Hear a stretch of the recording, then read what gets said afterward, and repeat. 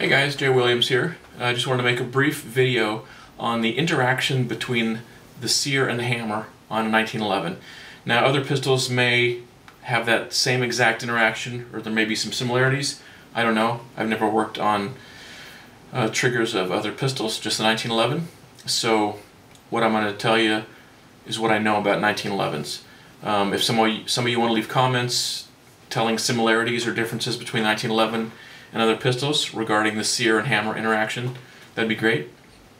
Um, I've got some little hand-drawn diagrams that I'm going to go through and just uh, talk about a few things and talk about a couple different kind of jigs that you can use and how those affect the interaction between the sear and the hammer on the 1911.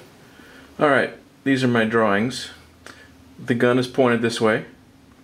Um, here's the sear, the sear nose, the hammer hooks, and here's the hammer. Um, when you pull the trigger, it pushes this direction on the bottom of the sear. It pivots here, so that pushes the nose of the sear out this direction, out from underneath the hammer hooks, which are just these things right here. Well, there's there's two of them. You can we're looking from the side, so it looks like just one, but you get the idea. This pivots right here, it pops out from under the hammer hooks, and the hammer falls this way. This is what's called a positive sear angle. What happens in this case, and it's exaggerated quite a bit, when you squeeze the trigger and the sear moves this direction, it it moves on an arc like my finger is showing here. So this part of the sear actually has to push this part of the hammer up out of the way. It moves in this direction, pushes against this surface of the hammer. So when you squeeze the trigger, you can actually see the hammer move back a little bit because the nose of the sear is pushing up here, pushes the hammer back out of the way. That's bad. Makes a heavy trigger. So that's not ideal. I tried to make these drawings similar so they kind of overlap. In this case we have a negative sear angle.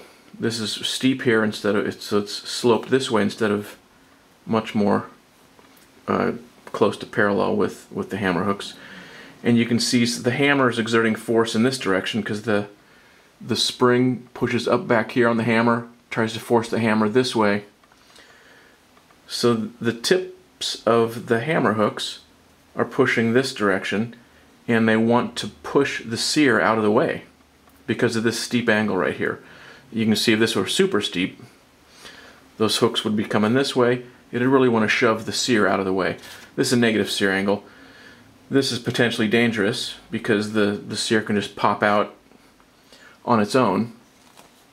But you've got this half cock notch. So in theory, even if you did a dangerous uh, trigger job, the sear popped out, it'd catch on the half cock and, uh, and the gun wouldn't fire. But obviously this is not good. This is neutral. Um, when the sear pivots, this angle roughly would follow the arc of the the arc that's circumscribed by the by the sear nose um, based on the radius here between the pivot point and the sear nose. This is good, but the shape of this nose can make a difference, and I'll, I'll explain that shortly. Alright, in this case, here's the primary sear angle, here's the secondary. The idea between around making the secondary angle is so that there's less of a surface here that needs to be moved out from underneath the hammer hooks. If you make this angle super steep though like this versus an angle more like this, it lets the sear come much further in this direction and then these hammer hooks can stick way out. Then you're back to uh, the idea of the sear having to shove the hammer out of the way because this is going to pivot like this and because it's well back from the, the tips of the hammer hooks, the sear has to shove the hammer out of the way slightly before popping out entirely from under the hammer hooks, allowing the hammer to fall. So if you have a really steep angle, you get this.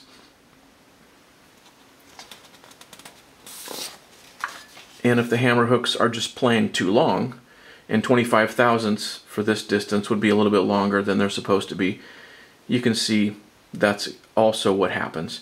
Now this angle is more appropriate for the secondary angle, but the hammer hooks can still be too long and stick out past the sear nose.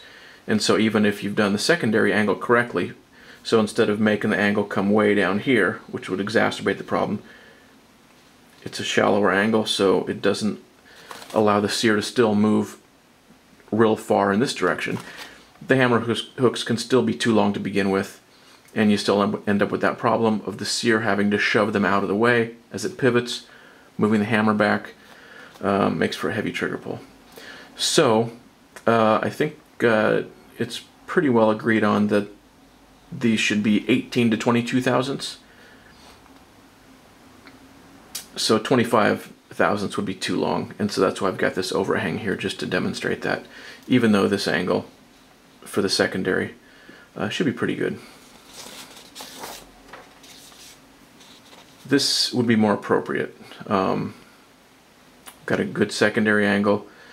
The hammer hooks are shorter, and so this here, you can see, does not have to fight against the, the hammer hooks to shove the hammer back out of the way as it moves. It just moves short a short distance along the surface. Then when it gets to the secondary angle, it pops out. Um, now, let me go back and find a better drawing. All right, to make this next point. I'm telling you that this is neutral. Let me let me zoom in here.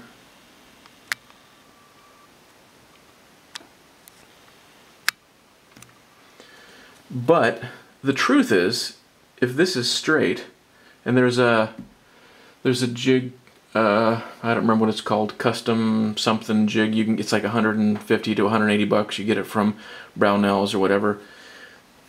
The um,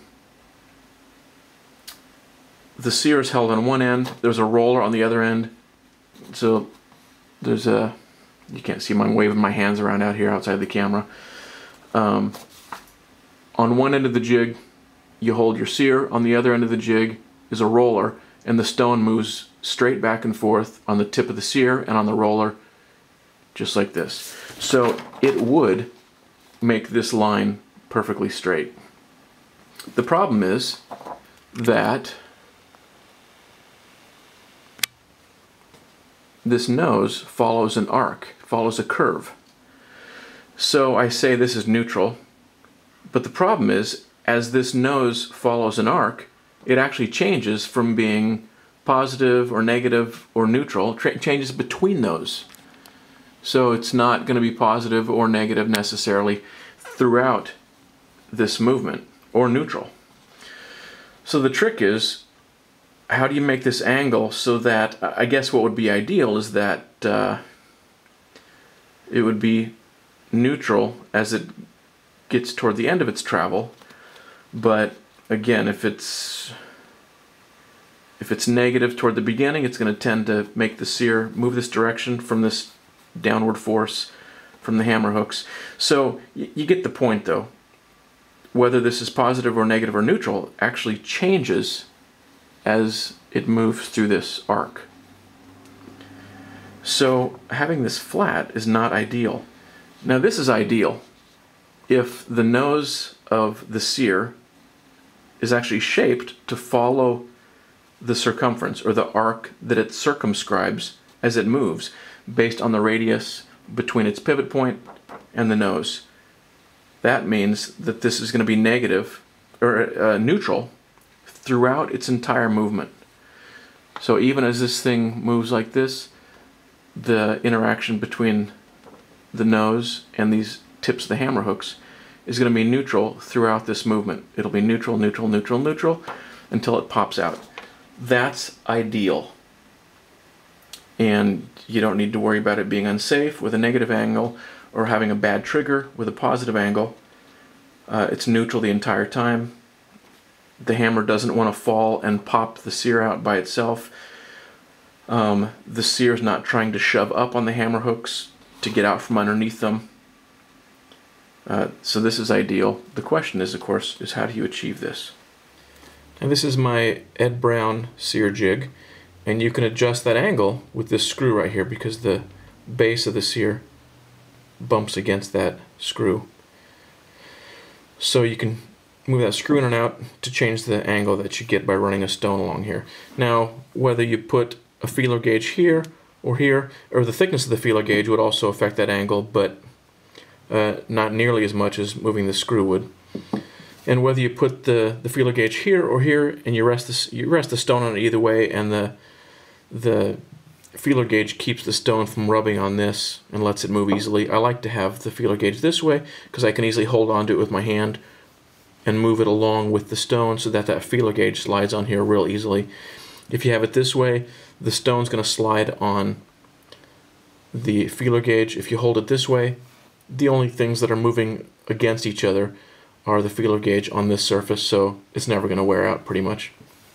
If you have the feeler gauge this way and move the stone on it, it's going to tend to make the feeler gauge move back and forth, or it's going to wear out the feeler gauge by the stone rubbing on it. So I, I like having it go this way. Otherwise, it's it's irrelevant which way it goes. Now, as you move the stone on here, and in fact, let me grab a stone real quick.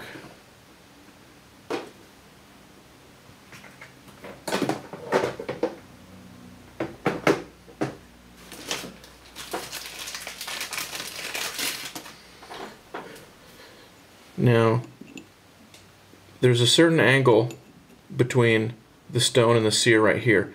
As I move this this direction, if I exaggerate it a little bit, or move it way down here, the angle is much steeper. See that? The angle is going to be much shallower here. As the stone moves down this direction, if I move it really close, that angle gets really steep. The effect that that has is to put a rounded surface on that sear nose. That's actually closer to ideal. It will not make a flat surface, although it'll be pretty close to flat for all practical purposes, but based on my little demonstration, it does show the geometry of it that it will round it over slightly. And as I showed you, that's that's fine. Actually, that's closer to, to optimal. But it'll be so such a small curve that you'll never even see it. So that's this jig. Now, let me show you a new jig that I have.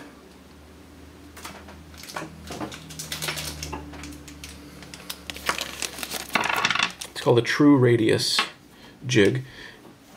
And the idea is simply that it creates that perfectly radiused nose, like I showed in this drawing. It creates that exact curve that matches the line circumscribed by the radius that um, the radius that you have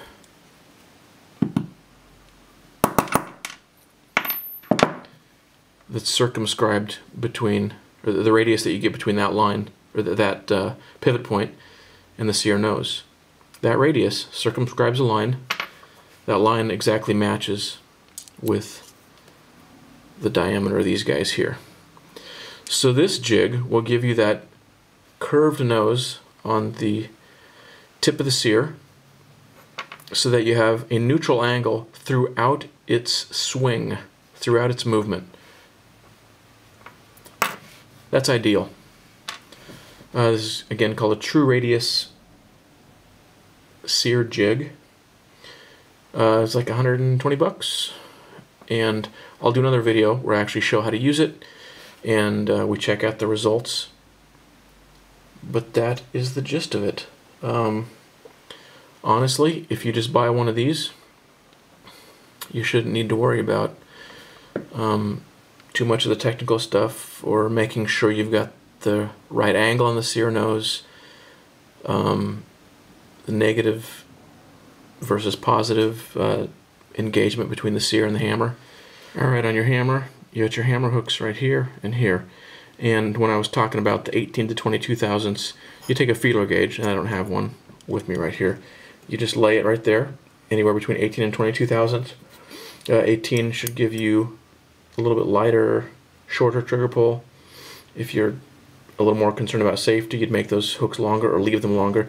So let's just say you want to go with 20 thousandths. Put the feeler gauge on there, and you'd feel, you'd be able to run your finger over that and feel if the hooks are standing proud of that feeler gauge, whether it's 18 or 20 or 22 or 21 or 19, whatever.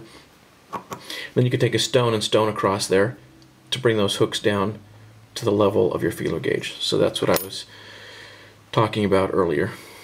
Um, so yeah, the shorter shorter those are, the little lighter and shorter your trigger pull is going to be. The longer they are, um, you might want that. Uh, it, might, it might give you a, a margin of safety. Um, do a little bit more research on that, but uh, from what I've from what I understand, 18 to 22 thousandths should be safe. Um, actually, what you might want to do if you do your own trigger job, leave them stock and stone your sear nose, and then try the trigger and see what happens.